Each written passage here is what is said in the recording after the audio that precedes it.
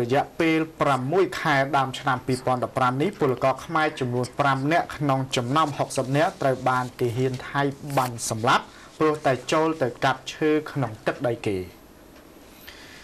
គិតត្រឹមរយៈពេល6ខែដើមឆ្នាំ2015នេះយ៉ាងហោចណាស់មានប្រជាពលរដ្ឋខ្មែរចំនួន5នាក់ក្នុងចំណោម60នាក់ត្រូវបានសមត្ថកិច្ចថៃបាញ់សម្លាប់ខណៈដែលពួកគេលួចចូលទៅកាប់ឈើក្នុងទឹកដីរបស់គេនេះបើតាមរបាយការណ៍របស់ការិយាល័យទំនាក់ទំនងព្រំដែនកម្ពុជាថៃដែលត្រូវបានលើកឡើងនៅក្នុងកិច្ចប្រជុំមួយនារសៀលថ្ងៃទី4ខែសីហាម្សិលមិញ លោកឧត្តមសេនីយ៍តូពេជ្រវណ្ណានារងទីចាត់ការការងារព្រំដែននិងជាប្រធានការិយាល័យទំនាក់ទំនងព្រំដែនកម្ពុជាថៃបានបញ្ជាក់ថា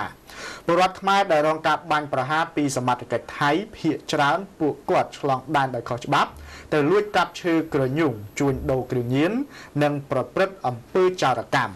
ក្នុងនោះពលរដ្ឋខ្មែរប្រមាណជាង60នាក់ដែលចូលកាប់ឈើក្រញូងដោយខុសច្បាប់ ត្រូវបានសមត្ថកិច្ចថៃបាញ់ឲ្យស្លាប់ចំនួន5នាក់របួសម្នាក់រត់រួចខ្លួនចំនួន15នាក់ដោះលែងឲ្យវិលត្រឡប់មកវិញចំនួន15នាក់និងផ្ដន្ទាទោសឲ្យជាប់ពន្ធនាគារចំនួន29នាក់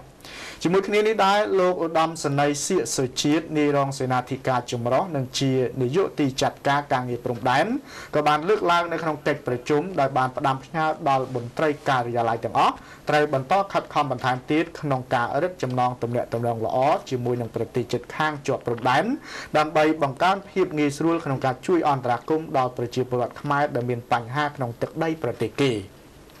ពិសេសគ្រប់មន្ត្រីដែលឈរជើងតាមច្រកព្រំដែនត្រូវគ្រប់គ្រងឲ្យបាន នៅរាល់ការចេញចូលរបស់ប្រជាពលរដ្ឋខ្មែរក្នុងទឹកដីថៃ និងពលរដ្ឋថៃចូលមកកាន់កម្ពុជា